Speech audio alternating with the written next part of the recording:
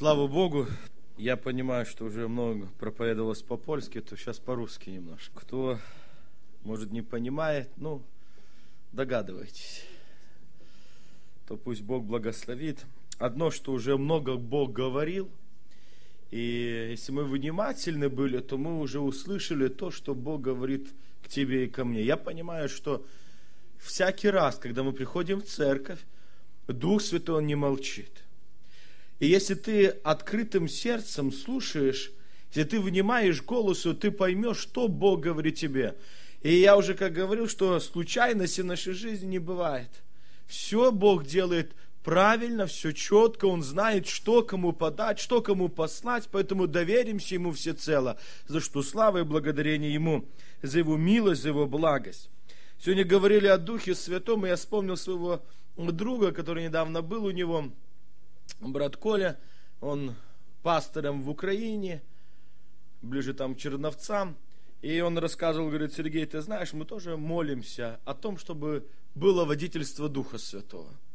И когда они молились вместе и переживали благодать Божию в пятницу, Бог Духом Святым сказал, сын мой, подойдут к тебе люди, ты преподашь им наставление и дашь крещение им водное – ну, я послушал, ну хорошо. После собрания подходит одна молодая э, уже девушка, она из неверующих, и она говорит, я ходила в вашу церковь, я каялась, а вот сейчас хочу э, уже посвятить полностью жизнь Господу, хочу принять водное крещение. Я говорю, хорошо, дал ей пару наставлений, и говорю, ну там было сказано души, это была, говорит, пятница, в субботу, говорит, пришли еще три молодых брата, тоже неверующих, тоже пришли в церковь. Церковь тоже у них небольшая, ну, человек, как у вас, это может 120 человек.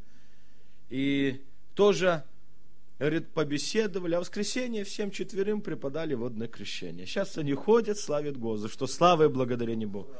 Вы знаете, когда люди открыты сердцем к Духу Святому, то Бог силен сказать.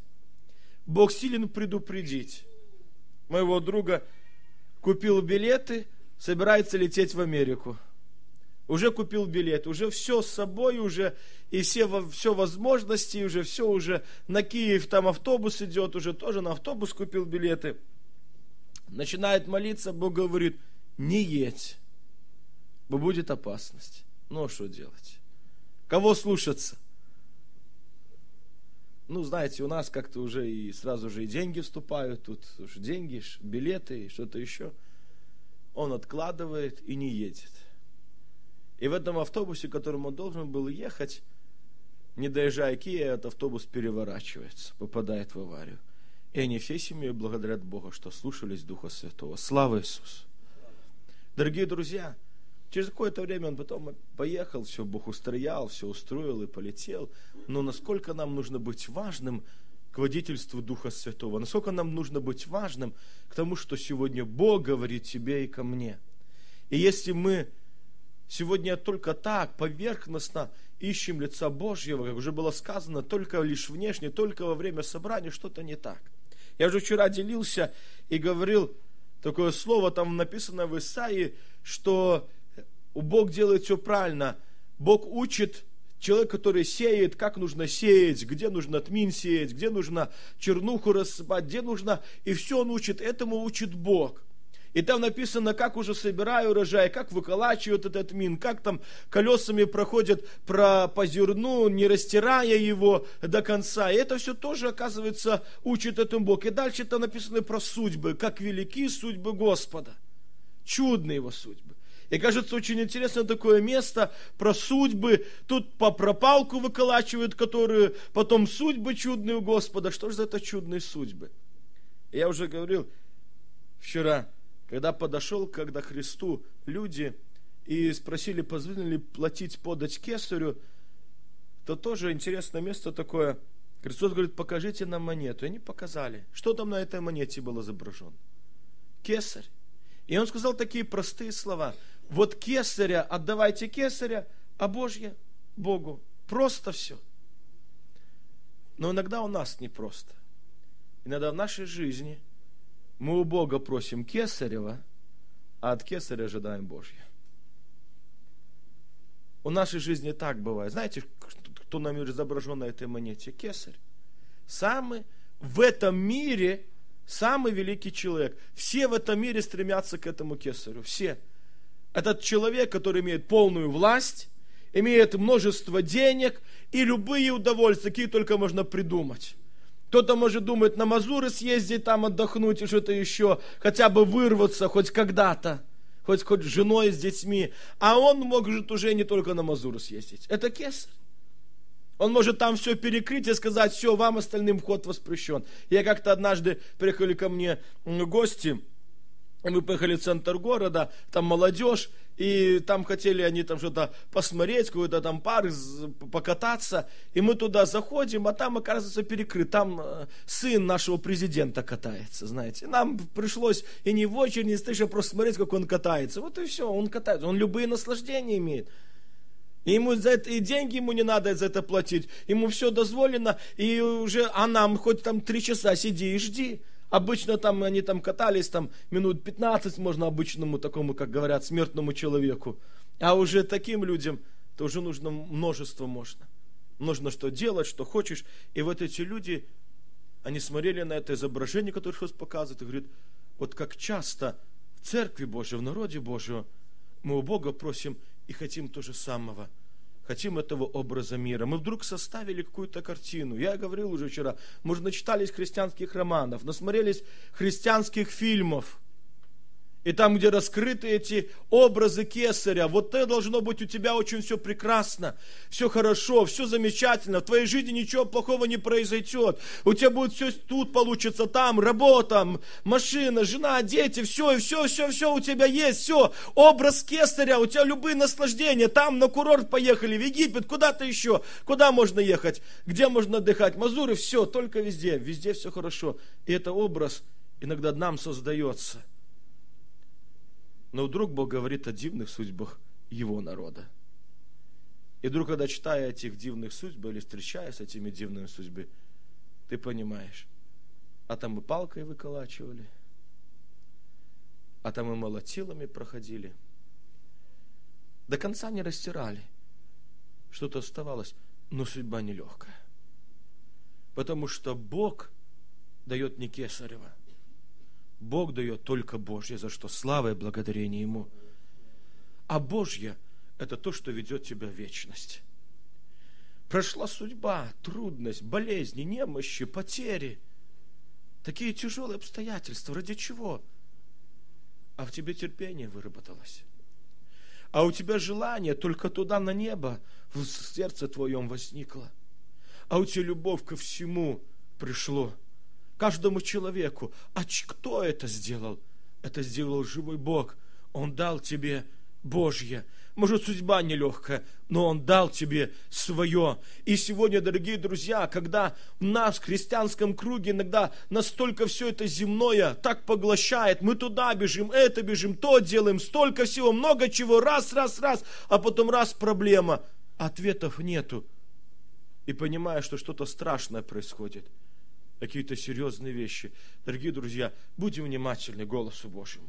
И если мы пришли сюда, на это место, и мы уже проповедуем нелегкую жизнь, мы проповедуем небеспечную жизнь, но мы говорим о том, что Бог вас помилует, Он возьмет вас свое царство, что слава и благодарение, Он приведет, Он даст вам все настоящее, Он даст вам Божье любыми путями, но доверьтесь Духу Святому, доверьтесь Богу, доверьтесь тому, который будет вести вас. И потому, когда люди верующие вдруг познают, что есть Божий путь, и они не ищут этого образа кесаря, они сами иногда оставляют свои ухоженные дома и едут куда-то за тысячи километров, бывает в Россию, там, где ничего особенного нету, там, где нету каких-то шикарных мест, возможностей, они там трудятся – и славят Бога, и понимаешь, их жизнь оправдана. Ради этого стоит, потому что у них что-то возникло другое ценное. Поэтому пусть Бог благословит. Но я не об этом хотел говорить. Читаю Слово Божье. И я тоже хотел бы кратенько, время наше быстро летит, но хотел бы вместе с вами, чтобы мы еще раз, конечно же, помолились. Уже уже было много сказано. Я понимаю, что кто-то слушает меня и ничего не понимает, но не буду вас долго томить, поэтому но будем молиться. Знаете, когда мы молимся, то это совершенно другие обстоятельства. Совершенно.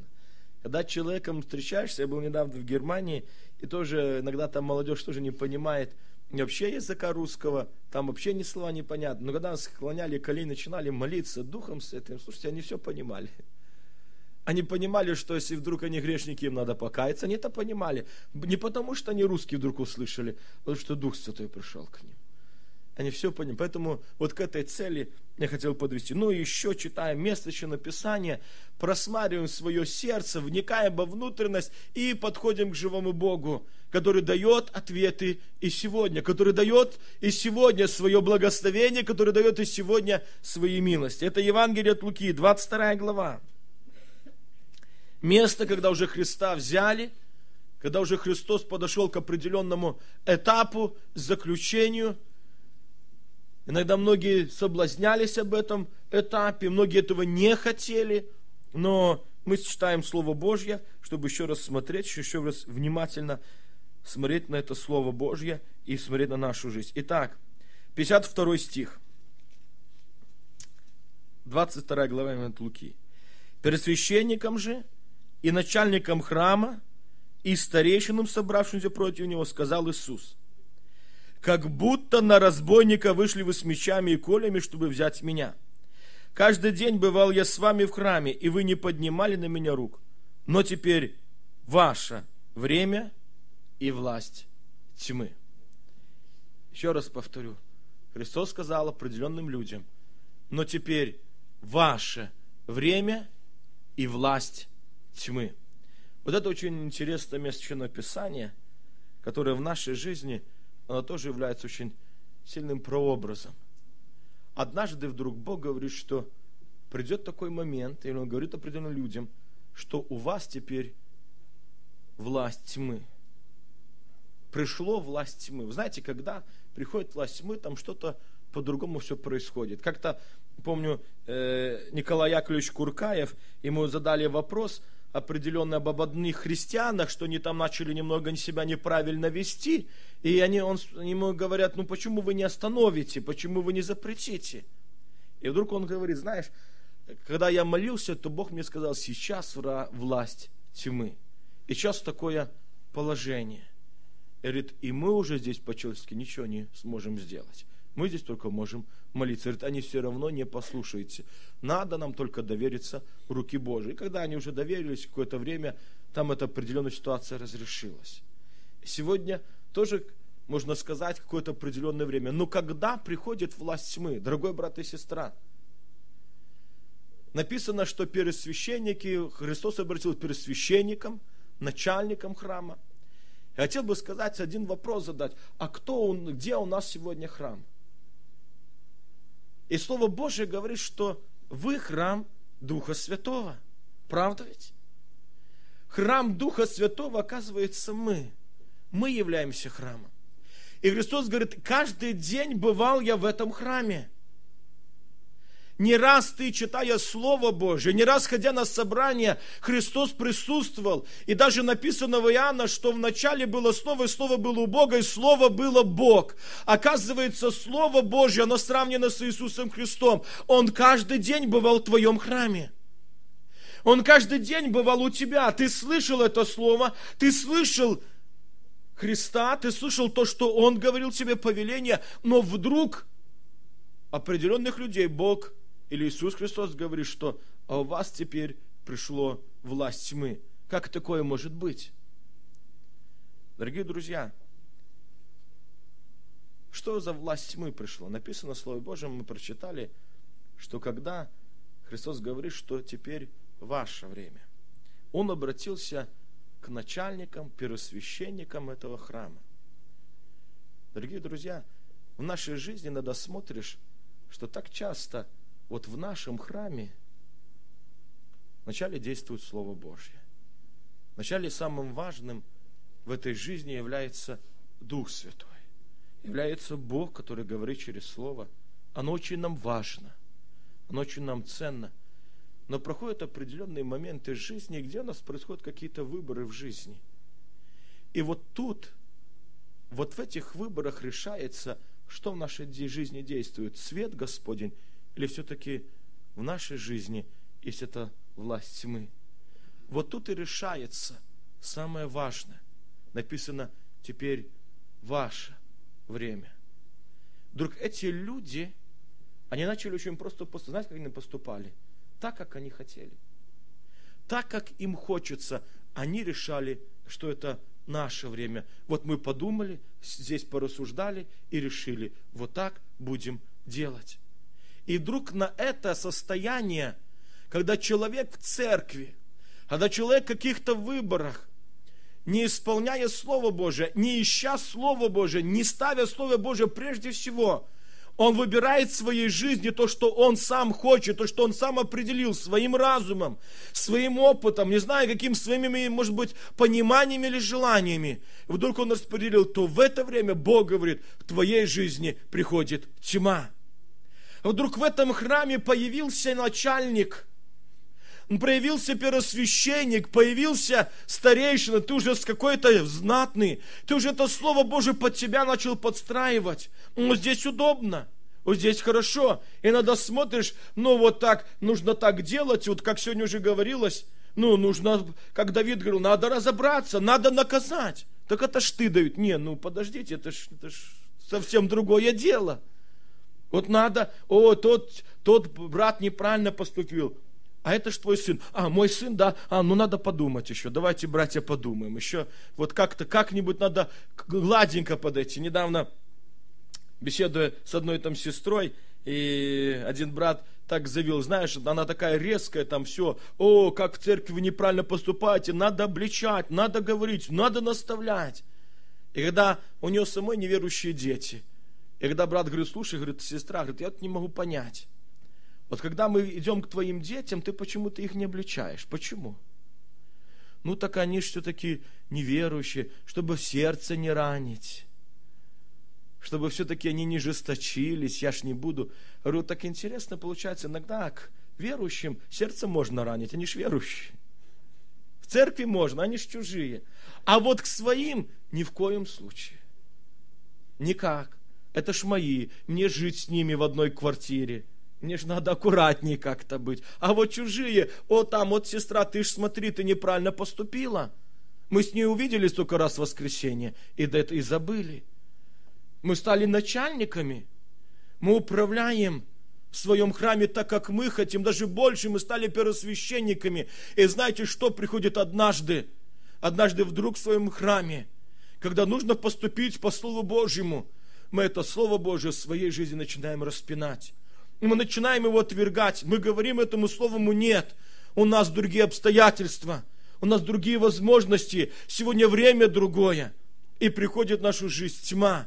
И знаете, самое страшное, что происходит, я вчера уже говорил, самое страшное, самое тяжелое, когда вдруг ты склоняешь колени, ты начинаешь молиться, и ты понимаешь, ответа не будет. Потому что Бог стал вдалеке от тебя. Вернее, ты ушел от Него настолько далеко, ты в своей жизни запустил тьму, и тебе уже не видно ни ответа, не видно ни решения, ничего. Это самое тяжелое. И оно не сразу делается. Вы знаете, ну, не знаю, как у вас тут, но у нас обычно вот весной сеят, а вот э, осенью все собирают. И картошку, знаете, это по пять мешков, ну, чтобы ну, много было, чтобы осталось. И закатки делают. Я не знаю, у вас делают еще, не делают, но у нас еще делают, как в Беларуси, стараются. И вот весной, например, когда ты посел, даже летом, ты можешь еще пользоваться прошлогодним. У нас такое есть, даже у меня где-то закатка есть, которую уже там год назад мы закатывали. Она еще, она еще рабочая, мы еще тем урожаем. Еще когда-то ты сеял в доброе, ты доверял Духу Святому, ты доверял Слову Божьему и пускал Слово Божье в свое сердце и говорил, чтобы оно свободно действовало. Но, но ты сегодня тоже сеешь и вдруг в этом слове ты стал первосвященником. И придет тот момент, страшный момент, когда вдруг, когда нужен будет ответ, нужно будет решение, а в твоей жизни нету этого ответа. В твоей жизни пришло поражение. Ты начал звать, у тебя пришло обстоятельства, болезни за детей, а у тебя нету ответов. И вот Слово Божие сегодня говорит себе и мне, чтобы не было этой власти тьмы, Давайте сегодня все-таки Слово Божие поставим на первое место в нашей жизни. И начнем искать так, как Он хочет. Ну, сегодня можно вот так поступить. Можно. А что Слово об этом говорит? Но я сегодня хочу жить так, вот так, как я хочу. Можешь. И в это время были первосвященники, и начальники храма. Они Библию толковали по-своему, так как хотели. Они даже Христа имели право распять. Ты можешь как хочешь поступить. Но Слово Божие говорит. И есть и верные люди. Написано, как Малахии, написано, что есть те, которые говорят, что внимает, и пред Господом пишется книга, обоящаяся Его. Они не популярны. Они, может, приходят в церковь, и в церкви уже различные понимания, учения. Один так поступил, другой так поступил.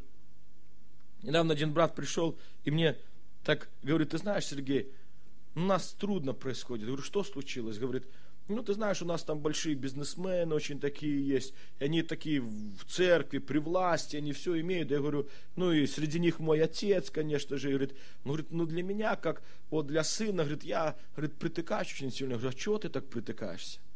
Говорит, ну, представь себе, говорит, две таких, ну, уважаемые как бы э, человека, там, женщины, бизнесменки такие, они уже очень имеют много всего, и они взяли своего же брата, ну, по во Христе, ну и так, по-человечески обокрали, ну, по-человечески.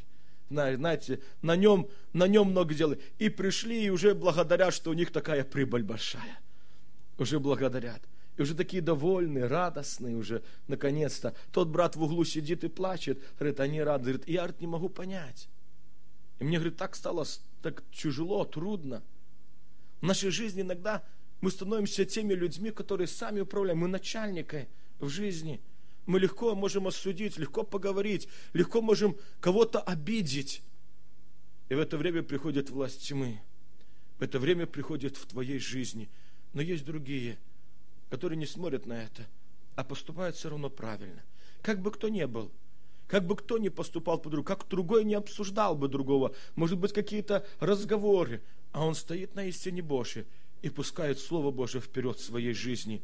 И я знаю, в это время приходит особое время. Аллилуйя. В это время приходит особое действие. Мы сегодня в самом начале молились о том, чтобы действовал Дух Святой. Но чтобы действовал Дух Святой – то в нашей жизни должен уйти эта власть тьмы. Мы должны этому слову довериться. Мы должны этому слову, это слово говорит, что если ты его будешь исполнять, то Дух Святой сойдет. Аллилуйя. Если это Слово Божье будет в твоей жизни важнейшим, то в твоей жизни придут ответы. И я знаю, дорогие друзья, это Слово не ошибается. Если у нас что-то не получается, это не Слово виновато. Может быть, в нашей жизни пришла тьма, пришло поражение. Мы уже стали жить так, как мы хотим. Мы избрали свои пути, избрали свои какие-то моменты жизни. И мы уже поступаем по своим желаниям. И это время, Бог говорит, это время, где приходит тьма, где приходит нету света Божьего, но вдруг есть выход. И в Петра написано, вы хорошо делаете, что обращаетесь к этому Слову Божьему, потому что это есть светильник, который горит в темном месте – и самое первое, что нужно, дорогие друзья, у нас столько много сегодня жизненных каких-то вопросов, моментов. Сегодня такие трудности стали. Я был, говорю, в Германии, и тоже очень удивительно, там сейчас много беженцев, ну, слышали, да, в Германии много беженцев. И многие начали роптать, а почему это? А зачем их пускают? А для чего это? А им платят тысячу евро. Вы что, столько денег? Знаете, ну сразу, не знаю, жадность или что это? Ну, ну пускай платят. Ну что им? Что тебе жалко, что ли? Даже не с твоего кармана. Ну они что на наших машинах будут ездить, на наших дорогах будут ходить, там магазины наши. И знаете, я когда вспомнил слово, которое написано в 49 псалме, там такие слова написаны, что они называют имение своими именами, но другим достается. Я говорю, знаете, для чего это было допущено в вашей жизни? Чтобы вы в Германии не подумали, что это рай на земле. Чтобы все-таки для нас рай был туда, в небеса. Говорит, а для вас это испытание. И как один из тех же немцев говорит, знаешь, а я понимаю, для чего это нам столько беженцев. Говорю, для чего? А для того, чтобы нам проповедовать им о Иисусе Христе. Я говорю, ты правильно поступаешь. А это наша цель. Чтобы здесь не устроить на земле, здесь не укорениться, а чтобы войти туда, в вечность, в небеса. Приходят трудности, приходят сложности. Дорогие друзья, они придут – как бы хорошая экономика не была в Беларуси, России, может быть, Польше, но в твоей жизни что-то придет, определенные обстоятельства. И вот в это время нужно поступить правильно. В это время должен прийти победа. И если ты доверяешься Слову Божию, Духу Святому, что бы вокруг тебя не было, какие бы краски не сгущались, ты поступишь правильно, за что слава и благодарение. Вдруг Бог Духом Святым, Он начнет показывать тебе что-то другое, выход, славу. И для одних, я смотрю, они там переживают. О, пришли уже беженцы, а другие радуются – Слава Иисусу! Мы сами не могли поехать в эти мусульманские страны, а Бог их нам привел, чтобы нам свидетельствовать и распространять Евангелие. И я смотрю две точки зрения. А это так часто бывает в нашей жизни. Две точки зрения. Однажды один брат рассказывал, говорит, приезжают к нему два друга. Один приезжает с Иерусалима, и там говорит, а, Иерусалим, да что ты, а Ирдан, а, там перейти можно просто ну, по колено воды, а, там здесь деньги берут, там все, там, знаете, такое, знаете, мнение, он же верующий, там же мнение, а, что там в Израиле, там ничего особенного и нету. Все за деньги, за деньги, везде там все проблемы и проблемы. И ты приехал другой брат, и тоже, говорит, ему рассказывает, говорит, ты знаешь, говорит, а я побыл в Иерусалиме, говорит, одно название, что стоит. Мы стояли на Илионской горе, что название стоит. А ты знаешь, а мой Иордана, а мы исполнились Духа Святого. А Галилейского моря, Гессенерсерского моря, мы, говорит, спели озеро чудное Гессенерское. Говорит, а столько, а такое наполнение, такое благовение. Два человека в одном и том же месте были. В чем разница? Знаете, в чем разница? В одном не было тьмы, в одном был Дух Святой, который действует. В одном был тот, который открывает и благословляет. И для него все прекрасно. Он видит руку Божью во всем. И даже в трудных моментах он видит Духа Святого. Аллилуйя. Он видит Бога Творящего. Он посмотрит сзади на судьбы, где палкой выколачивали, где молотилами проходили. И он скажет, дивны судьбы Господа, чудны его дела. Он делает все прекрасно. А другой посмотрит – и будет жалеть, и будет роптать, и будет говорить, как все плохо, и где Бог в это время был. Дорогие друзья, на самом деле все делает Дух Святой. Что сегодня в твоей жизни важно, ценно? Итак, мы должны обратиться к этому светильнику. И дальше это обратиться к светильнику настолько, довериться этому Слову Божьему настолько ради одной цели, пока не взойдет утренняя звезда. А для нас утренняя звезда – это Дух Святой. Аллилуйя. Пока вдруг Дух Святой не начнет говорить тебе, сын мой, дочь моя, встань, начни делать то и то. О, тогда жизнь наша изменится. О, тогда наши поступки будут совершенно другие. И мы увидим что-то особенное. Мы увидим славу Божью, мы увидим действие Божье, мы увидим руку Божью. Когда? Когда над нами будет Дух Святой, когда с нами будет благодать Божья, когда в нашей жизни не нашего будет, а Его, Его воля, Боже, что Ты хочешь. Когда мы Его Слово поставим выше всего и скажем, Господи, Ты действуй. Мы не будем Его распинать в своей жизни, а мы будем давать Ему свое время, и тогда что-то в нашей жизни изменится. Это сегодня хотелось бы и мне, и хотелось бы, чтобы было и у вас, чтобы пусть Бог благословит в этом ожидать. Мы ожидаем сегодня сошествия Духа Святого, и Он сходит на верных. Аллилуйя. Он сходит на те сердца, которые вполне преданы Ему. Он обозревает Вселенную и смотрит, и видит, если есть это сердце, в котором нету своей воли, нету эгоизма, а он ищет Духа Святого, он тогда сходит и говорит, благословлю, аллилуйя. Он тогда сходит и говорит, дам ответы – и, может быть, трудные будут обстоятельства, тяжелые, но Бог явит милость. Под Барановичем одна сестричка заболела раком. Рак поджелудочной железы, саркома поджелудочной железы. Саркома – это быстро развивающий рак, который нельзя остановить, химия даже не помогает. И поджелудочную нельзя вырезать, потому что если вырежешь, то человек умрет. И она сказала, не надо мне ничего, я буду ожидать Божьего. Если Бог определил смерть, то смерть. Если Бог определил жизнь, то жизнь но я буду ожидать Божьего. И знаете, она просто приготовилась к вечности. Она худела, худела, худела. А однажды вдруг дочку попросила, слушай, дочка, что-то кушать хочется, дай, пожалуйста. И знаете, как говорят в народе, отпустила перед смертью. Она дала ей покушать, она покушала, говорит, дочка, что-то маловато, ну ты мне положила. Она говорит, ну хорошо, мам, еще дала.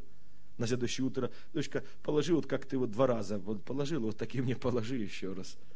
Она еще раз положила. Через неделю, смотрю, румянец появился. Повезла на обследование, а рака там нету. За что слава и благодарение Богу. И мы беседовали с одним служителем, и говорю, рассказываю эту историю. Он говорит, знаешь, Сергей, вот Бог таких ищет. Тех, которые Его Слову доверятся. Доверятся Его судьбе, Его пути. И Бог посмотрел, этот человек не возроптал, не возненавидел жизнь, а просто смиренно ожидал Божьего определения. Не моя воля, но твоя. И Бог посмотрел на этого человека и сказал, вот такие молитвенники на земле еще нужны, чтобы молились за церковь и за шествие Духа Святого – и оставил жизнь. Вот те люди, которые не своей воли ищут, а ищут воли Божьей. Поэтому хотел бы, чтобы мы сегодня искали. Он силен дать благословение. Он силен дать свои ответы и победу. Еще раз просматривать наше сердце. Кто в нашем сердце? Христос действует, Его Слово. Или уже там первосвященником ты стал – или ты стал уже начальником этого храма. Я хочу, как и делаю, но в воскресенье еще пойду. И то, если меня уговорят, если меня тут как-то ублажат, какие-то интересные истории расскажут, или что-то другое. Или мы все-таки доверились тому слову, которое Бог сегодня говорит тебе.